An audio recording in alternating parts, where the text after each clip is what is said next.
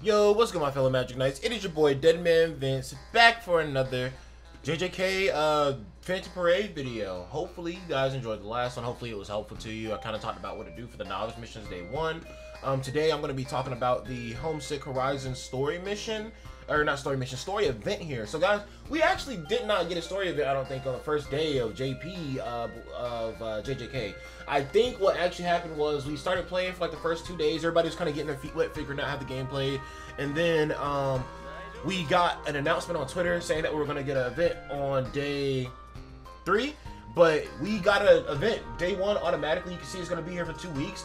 I I believe they do a pretty good job of cycling out events. So as soon as this one's over, the next one's here. Or I think I think maybe like a week and a half into the first event, they kind of like they kind of take away access to the event quest, but you can still do formidable battle or something like that. I can't remember exactly how the breakdown is. And then the next event's already here, and then you can go ahead and jump to the next thing if you're already done, which I like. It's not overwhelming. It's like multiple things at the same time, yes, but they do it in a way where they give you time to do the first thing, and then they and then they uh, bring in the next thing after a little while. And then if you're still working on the first thing, you still got that little bit of time before it's done, and then you can move on to the next thing whenever you're all set and good. So basically, guys, the way that this works is you can see right here these are, uh, you see it says token exchange.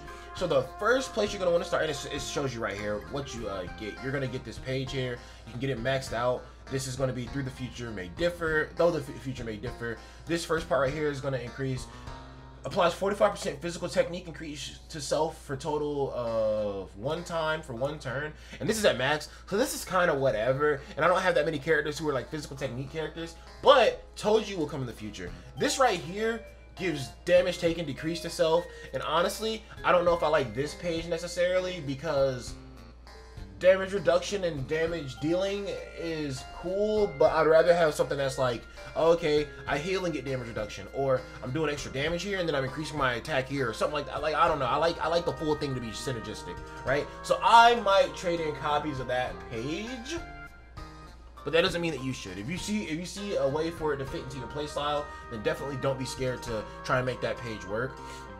Um, but you come to the event quest here, right? And I've already beaten all the normal ones. I beat those last night on stream, right? But you come through all these normal missions here, and basically what each one of these missions are going to give you when you win, you're going to get Kaiju, of course, for getting three stars. You get JP uh, in a back in a home screen like background for your first time clear. And since I made all the way to the last mission, the last mission specifically gave me uh, this right here. But you also see you get these little drop items right here. These drop items are residuals of Curse Energy, and you need to collect those. And those are kind of like a stamina for this fight right here. And this fight goes up in level.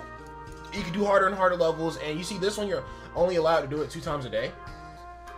Um, annihilation times. Yeah, yeah, yeah to available annihilation times two times a day. The one right below it, you can do as many times as you want and just leave it on full auto battle. And if you stack up enough of these, you can literally just leave this on auto battle. And the way that this works is say you can beat the mission in one run. If you set it on auto battle and set it to keep running over and over again, it will beat it in one run and then keep doing it. Say it takes your team like two runs. So say you do the first run and you don't exactly win, and mean you want to come back and try again. Well, the boss's health is still going to be at the same level. So if you can do that, you can auto battle this if you want to. The only thing is every two runs or every one victory is going to take you two runs. So you're going to be using two times this stamina right here. So you want to try to get your, your team as strong as you can, obviously, before you try to do something like this so that you can try to make sure you can beat it in one go. I kind of want to try to get some of these and see if I can't beat it in one go because my team's like 14k now. But I'll, I'll come back to that in a second. Um, the event plot over here. Does anybody ever does anybody ever really watch the cutscenes in a gacha game? Be honest with me. Be real with me. Um, but if we come here to the event mission, you can see there are a lot of missions right here that you can complete. There are daily missions, so you want to make sure that you're doing this stuff daily. Clear any event quest 40 times. So I got to do that six more times, actually. And there's two hours left. Wait, what? Two hours left? What time is it? Nah, I should have three hours left, I think. Unless reset is at 9 a.m. If reset's at 9 a.m., I'm, I'm cool with that as well. Um, then right here, these are just going to be reward. These are going to be missions that you can do throughout the time that the mission is here. Um, honestly, let's look through some of these missions. So a lot of these are just complete an event quest, right? Can you see uh, complete any event quest five to 30 times? So I've already done that, obviously. Uh, defeat formidable battle of difficulty normal 20 times, which I've already done because I've auto battled it. Um, so it looks like literally just beating stages repeat times over and over again. This right here is going to be more event quest. This is going to be beat it on special grade difficulty, and you see it gives you 200 of these little pages right here. Now, let's go over here. This is a token exchange here. You see through this token exchange, you can get like a SSR memory uh, border. You can get some of those tokens that you need to buy characters. Later on in the shop, you can get skill upgrade materials, level up materials, uh, memory reel level up materials, and summon tickets, and the page itself, obviously. So if you look at all the prize pools, it'll show you every single thing here. You can see there's one, two, three, four, five copies of this page here. And then you get a SSR uh, recollection bit border and then you go up to seven, you get uh that's really important. That's a really good reward. Then you get just a bunch of regular rewards from this one. And this this box isn't infinite right here, but yo, you definitely want to make sure you are getting through all these rewards. You get all these rewards in this campaign, bro. Oh, you're gonna be sitting pretty for a little bit. So you see on one right here, there was no summon ticket, but on two, there's still no summon ticket. On three, there's a summon ticket. On four, there's a summon ticket. On five, there's a summon ticket. On six, there's a summon ticket. You see what I'm saying here? Eight, summon ticket. So, or seven, I'm sorry, summon ticket. And also, these medals are the medals you need in that little shop. Let's go to the shop real quick and show you what you're fighting for. So right here, those medals can get you a free to play character. And I heard that I heard that uh, Hanami is the one you want, and Jogo is kind of like mid. So I'm gonna look over real quick. Uh, deals melee attack hybrid damage equal to, tar to target enemies equal to 82.7% of physical and curse energy. Okay. It's all hybrid damage. I kind of like I, I like characters that kind of focus on curse or physical. Okay, so that was just cursed. And then what is this? He domain expands. Oh, so their domain expansion is not separate. It's their ultimate. Okay, okay. Applies attack nullification, invalidation, guaranteed hit, crit rate increase. 197% crit rate increase, 59.9. And honestly, I want to get both of them, but it seems that Hanami is going to be first pick. Plus, I already have a crazy, crazy blue DPSer. Is Gojo. Um, damage dealt increase, 29.9. Damage taken decrease, ultimate gauge increase, nullification of spell, and resets curse energy to zero when effects end. You know what's funny? The first time we saw Jogo fight anybody in JJK, it was Gojo, and Gojo made Jogo look like an absolute meme tier character. He seemed not relevant. And low key, the same thing's happening in the game because Jogo and Gojo are the same color, but Gojo's like the better DPS, so like Jogo is somewhat not relevant. It's kind of funny. Her spirit, yep. And then Hanami, let's see this. Deals range attack damage to target enemy equal to 105 0.2% of curse, curse technique. Now that works, that already synergizes really well with um, Kaito and Gojo, because Kaito already boosts everybody's curse energy, curse uh, technique. The higher the enemy's ultimate count is, the greater the skill effect will be. Okay. Deals range damage equal to 346% of curse technique. Jeez, okay, okay. Applies 33%, 33.3% damage dealt decrease to all enemies for three turns. Oh, that's crazy. Then applies 86 point or 86% ultimate gauge fill rate to self for three turns. Okay. And then eventually you can hit your domain expansion, applies attack nullification and validation guaranteed hit. Ultimate gauge increase nullification to self and rest curse reset curse energy to zero when effects end. Deals range damage equal to all enemies or no, to all enemies equal to 9 point 909.2 of curse technique, 4 hits total. Applies 33.1% damage dealt decrease to all enemies. Nah, Hanami seems kind of fire. Like the good damage with the decreases in it, and also they're gonna give it, and also we can probably farm free dupes of it, of her. When the battle starts, applies HP recovery, recovering HP equal to 13% of curse technique every turn to self. Good. Self-sustainability. When a wave starts, recovers 10 curse energy for self. We love self-sustainability. Hanami does look absolutely insane. So those coins are really important as well. But guys, you see all the rewards that you're getting from the Homesick Horizon. So you see how important it is to make sure that you're saving all of those things. And guys, I was actually stuck on this mission right here. But I'm to try it again real quick and see what I get. You can see my current team is at 14,267. So let's see what we get here. Mechamaru, I think, is a solid DPS.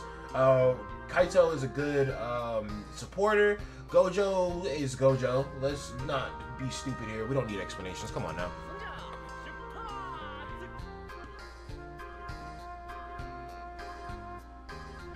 Okay. Let's see how this goes for us. If this doesn't go well for me, I might need to... I want to beat it with three stars. That's why. but three stars might not be in the cards for me. That was kind of bars, I think. Three stars might not be in the cards. That was kind of bars. That was that was all just a that was all a verse that I was spitting for y'all. I just wanted to test my rap skills for y'all.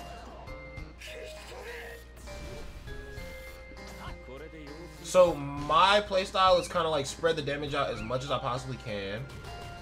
As long as a room, so if the first and the second room takes three turns with Gojo, then that's perfectly fine. I can work with that because Gojo still has one turn in the last room, and typically Gojo can one tap in the last room.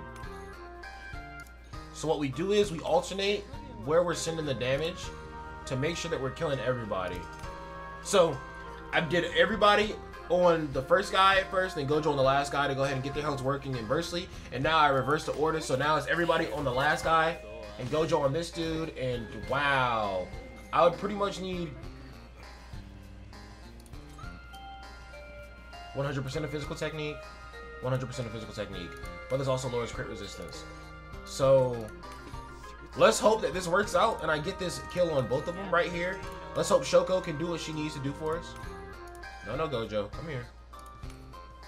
Please, Shoko. Thank you, Shoko. Okay. That only took three turns. We have four turns left with Gojo. So we're going to try to beat this room in three turns as well. And then when we get into the last room, we're just going to let off a Gojo ultimate. We're going to use Kaito to buff Gojo. So let's do this to lower your crit resistance.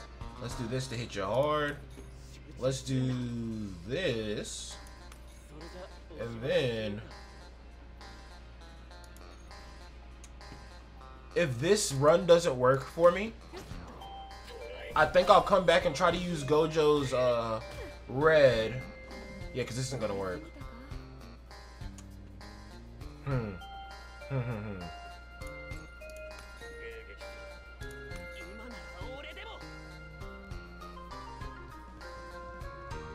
Yeah, it's just not gonna... It's not gonna work. Let's try this. Try to get a little extra damage out with the pages.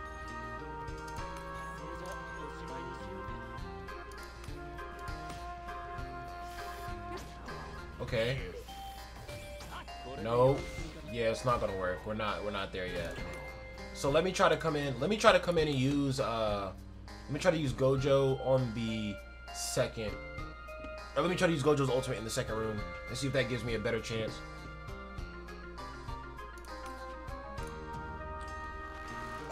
Because it's like, maybe I could have fought out a win, but like, guys, it is all about the three stars. If you can't skip the stage, then you ain't doing it right. You know what I'm saying? But I think I think I got the I think I got the I think I got the remedy here. I think I see where I can uh, how I can do this now.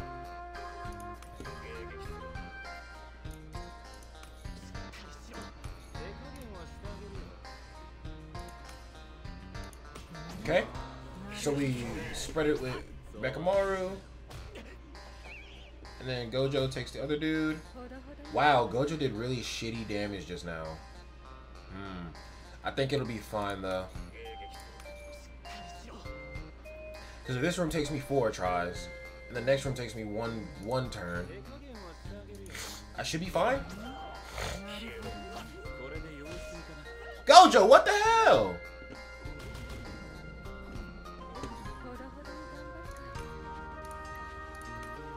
Alright guys, we're gonna come back and I'm gonna try to do this. I'm gonna try to do what I just did, but I'm gonna do it with uh I wanna use Gojo's ultimate in the next room and see what that gets us.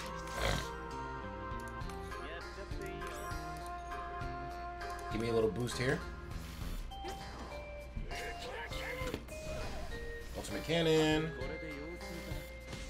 Okay.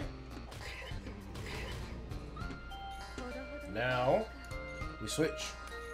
Focus. Gojo, please body this dude. Nice. Nice. Alright, so this is just looking like a three-turn room then.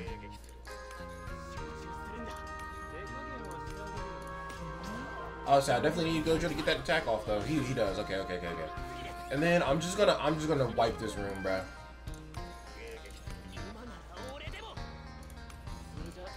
So I can get into that last room way faster.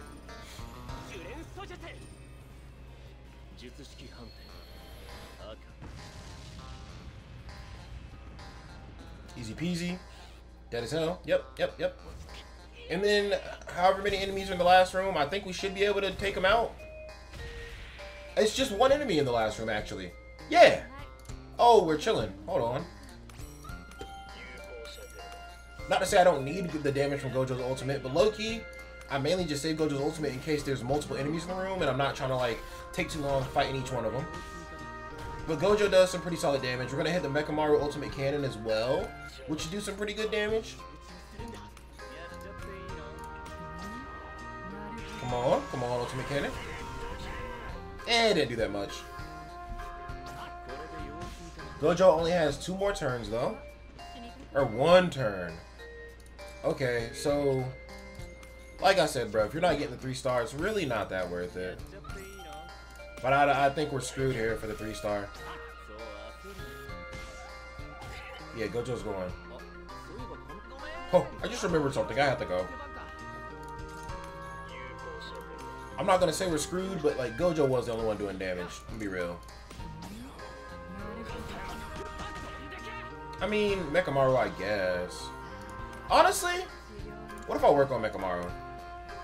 Oh yeah, guys, my team's not quite at that level just yet where I can beat that. But I think if I give Mechamaru a little push, I might be able to get there. I just don't have the materials I need to push him right now.